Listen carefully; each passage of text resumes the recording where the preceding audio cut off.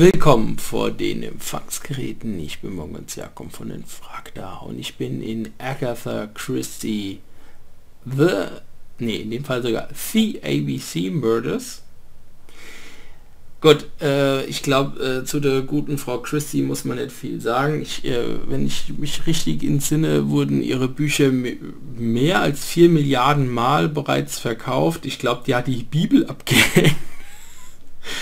Äh, also ihre Bücher sind äh, erfolgreicher. Ähm, inhaltlich auch logische, stringente, spannende und vernünftige. Wir wollen hier keine Religionskritik beginnen. Ich habe mir das Spiel die Tage irgendwann gekauft in so einem äh, äh Bundle, gell, in so einem Bundle.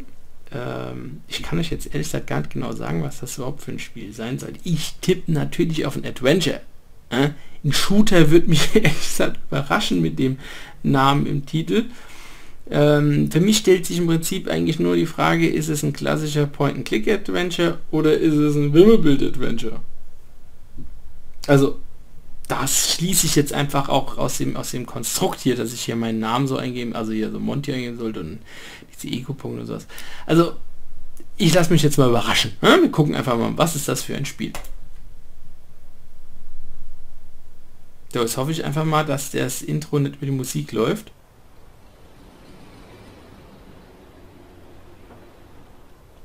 Ah, Inspektor.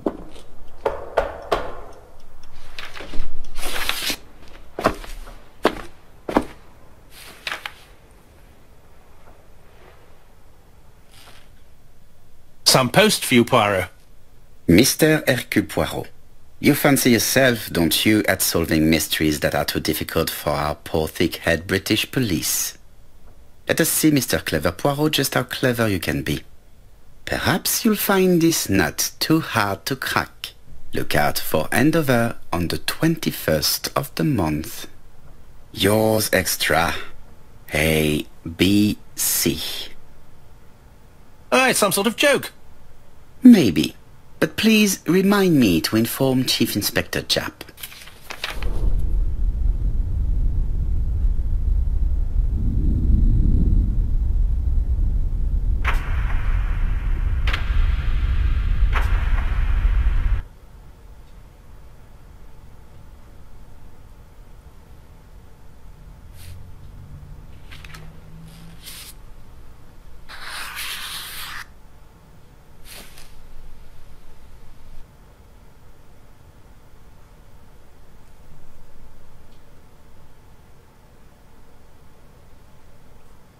Hm.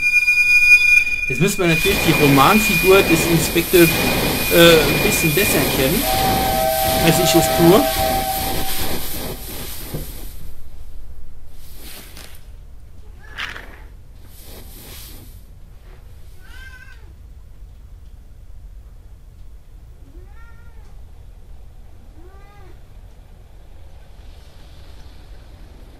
It's here, Poirot. The murder took place in this street. Grim place indeed. Tout à fait, Hastings. The streets of Andover are in a terrible state. Look, there's Chief Inspector Japp. He's talking with a policeman. Let us try not to get our shoes wet. Ich dachte, das wäre Trick der Gamaschen. An der andere Knecht hat, glaube ich, die Gamaschen an den Schuhen gehabt. So, äh, was?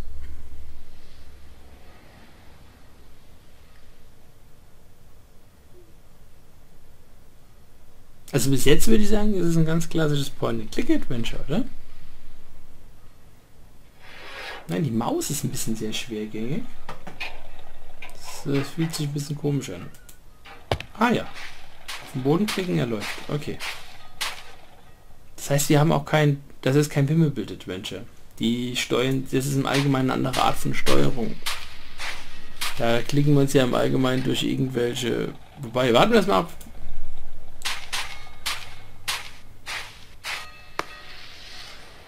Over here, it's Hastings and Poirot. You missed the nine o'clock train? We took the half past ten. Luckily the service is good to Andover. So, Chief Inspector, what do we have? The victim is called Alice Asher. She owned this tobacco shop. She was killed yesterday with a blow to the back of the head. At what time? Let me just check.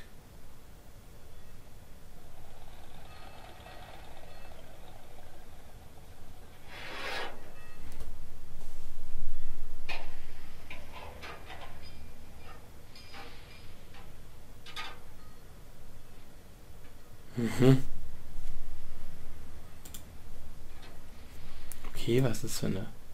Ah, das ist Sprechen. Und was ist das? Ach, aber das Beobachten.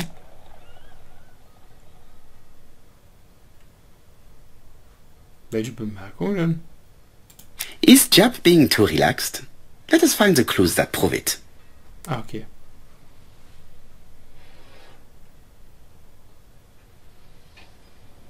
Das ist eine entspannte Haltung.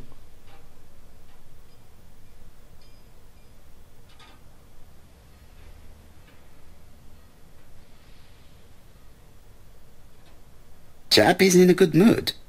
I bet he thinks he is already caught the culprit.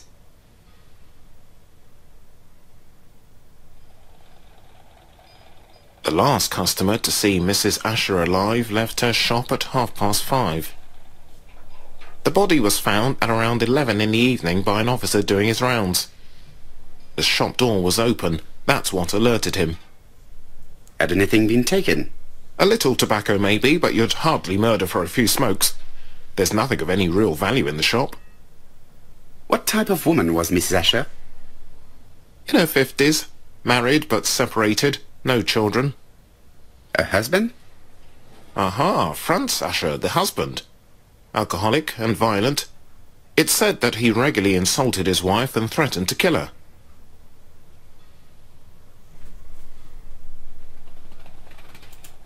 Do you think he's guilty? We'll look for Franz Asher. If he doesn't have an alibi, the case is closed. A very unoriginal murder. Peut-être. May I examine the crime scene? Of course, old chap.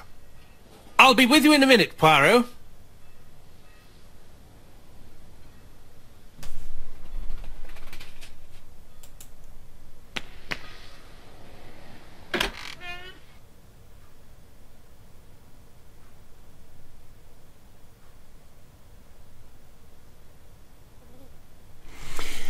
Also ich muss ja sagen, von der von der Zeichnung und von der Art, wie diese Räume dargestellt werden, erinnert mich das sehr an ähm,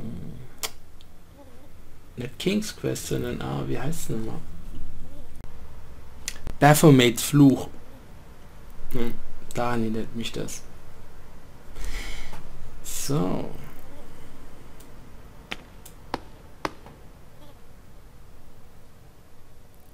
The place is unusually tidy for a crime scene.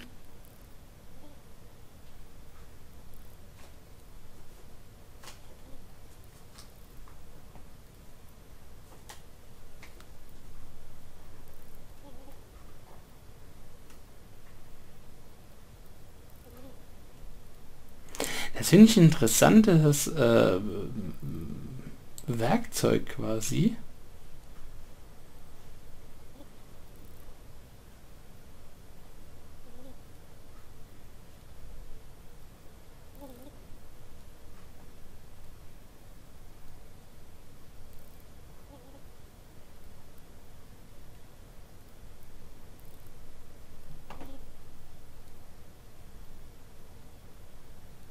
Nothing suggests any sign of a fight.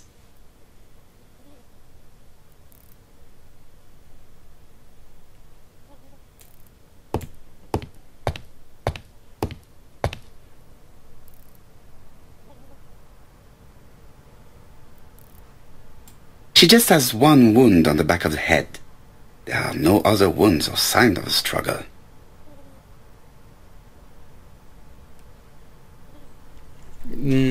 Da ist ja nicht viel Platz. Ich würde ja sagen, es gibt zwei Möglichkeiten. Also erstens, sie hat sich nicht bedroht gefühlt. Sie hat ja offensichtlich sei ihrem Opfer, äh, Quatsch, Opfer, ihrem Täter den Rücken zugedreht. Entweder war es ein Kunde, sie hat sich zum Regal umgedreht, um was aus dem Regal zu nehmen, deshalb hätte sie ja keine Angst haben müssen. Äh, hat sie keinen Misstrauen gezeigt, oder sie kannte ihn vielleicht sogar, mm, falls kein Kunde war. Aber She just has one wound on the back.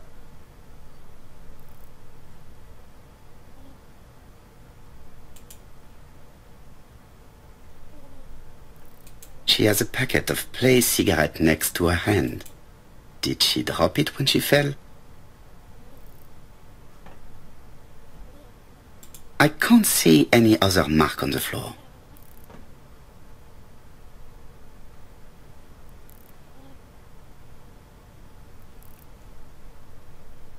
This poor woman's head is resting in a very even-shaped pool of blood.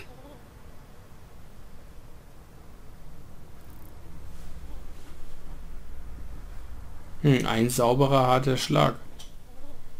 Hmm, the body is hidden by the counter and is not visible from the tobacco shop store. Many customers must have thought that Mrs. Asher had popped out.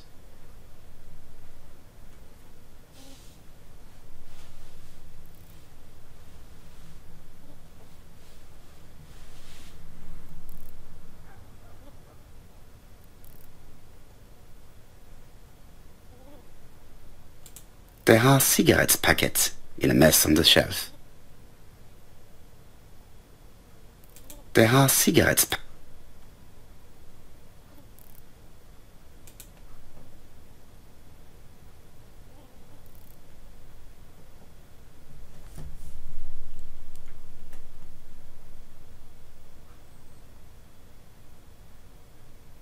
The till does not appear to have been touched.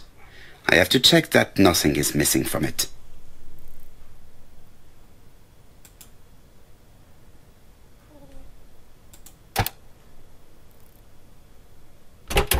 Something is preventing the drawer from opening.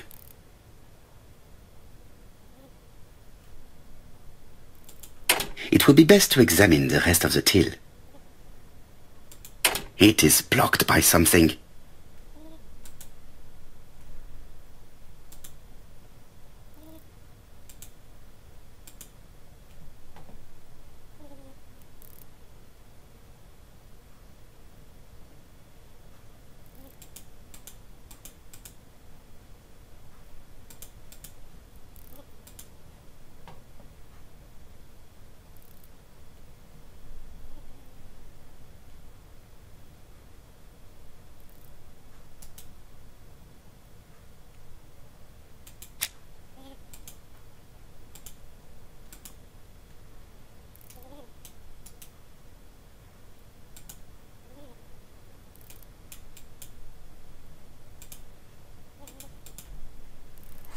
Was soll ich jetzt hier? Weil ich kann scheinbar nichts anpacken.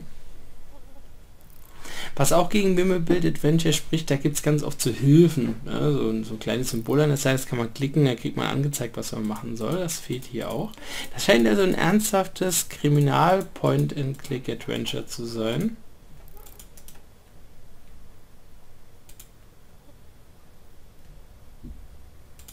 It is blocked by some...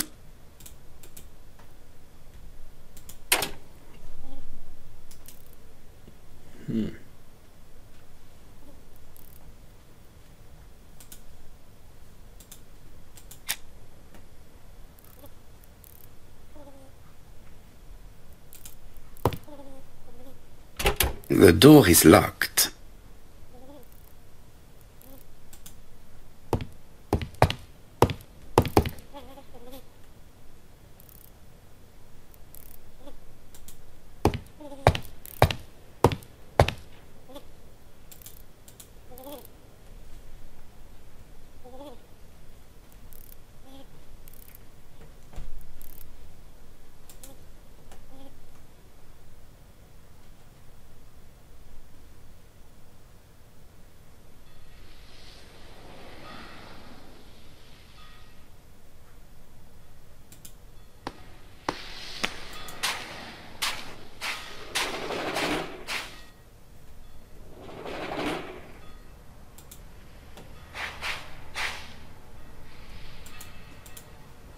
Hm, okay, die scheinen nett für Unterhaltung da zu sein. This fruit and vegetable shop has a front row seat, therefore an employee might have noticed something.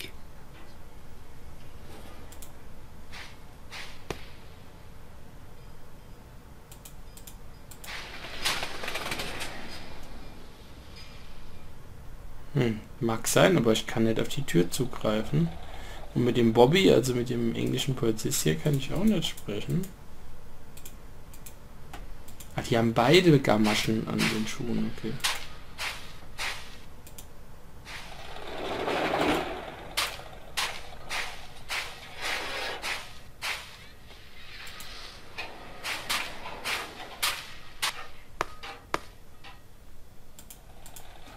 Hm, mit dem kann ich auch nicht sprechen. Scheinbar erwartet das Spiel, dass ich noch irgendwas drin erledige.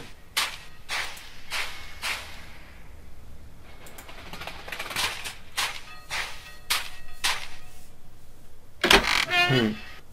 Scheinbar doch die Registrierkasse.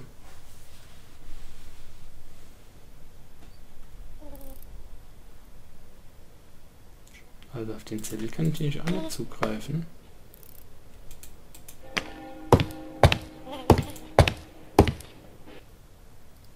Darauf.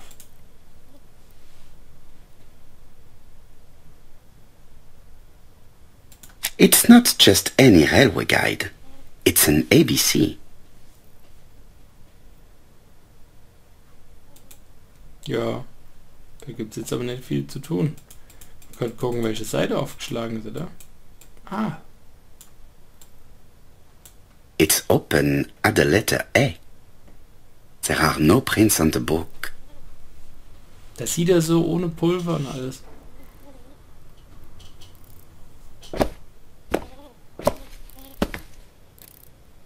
So, Poirot, any news?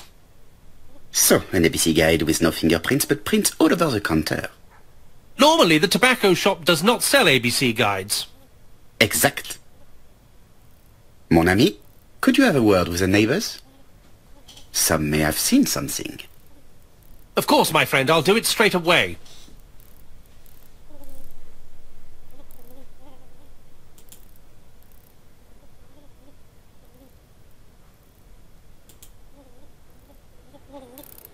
Red liquid is oozing out. Is it blood?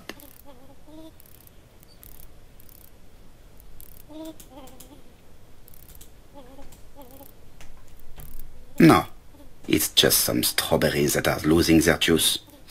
They probably come from the fruit and vegetable shop opposite.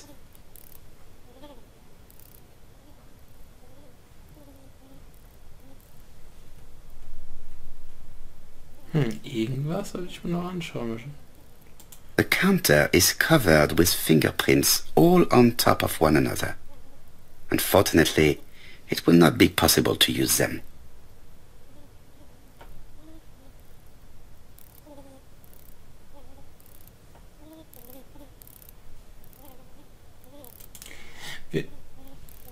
Schauen uns mal The till does not appear to have Ah, die kann ich nicht ausdrehen.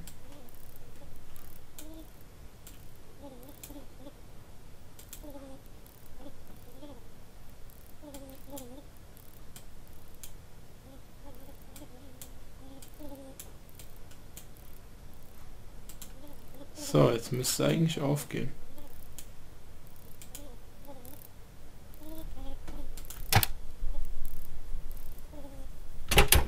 Something is Moment.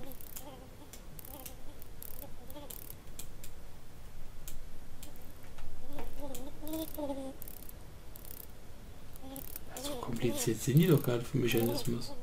Ah, ist wieder auf Zug gegangen. ah, a Jetzt, mechanism has just made a fan click. jetzt hat es. Gut.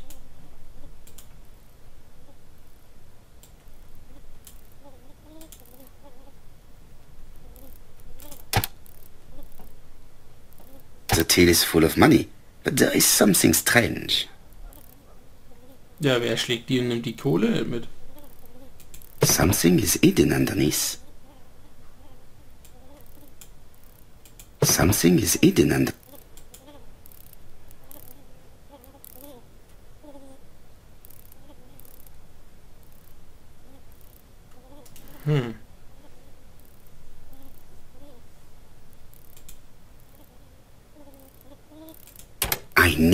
Find the code. Hm. I need to find.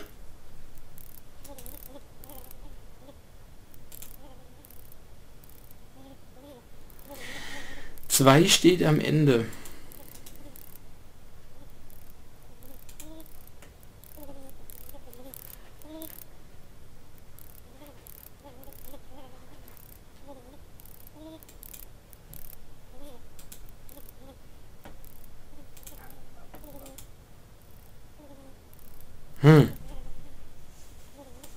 Something is hidden underneath.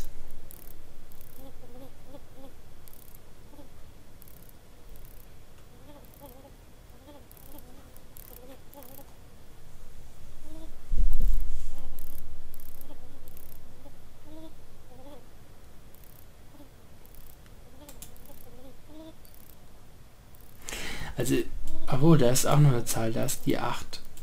Da ist die 2. Da ist die 5. 8, 5, 2.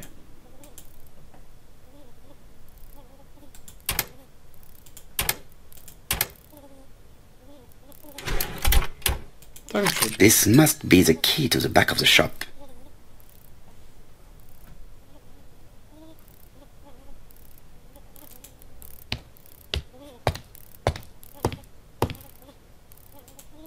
The door is locked. Da war so Knie statt die Schlüssel.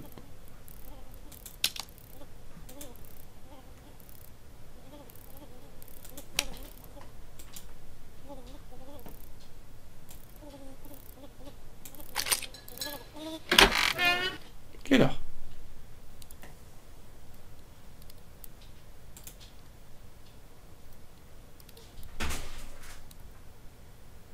Blood. Did Alice Asher suffer from nosebleeds?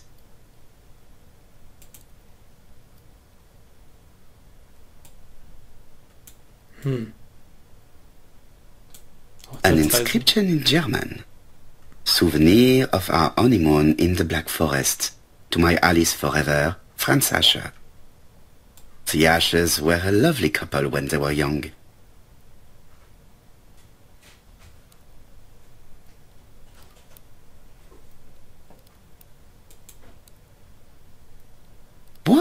Strange box. It looks like you have to slide the slats of wood to open it.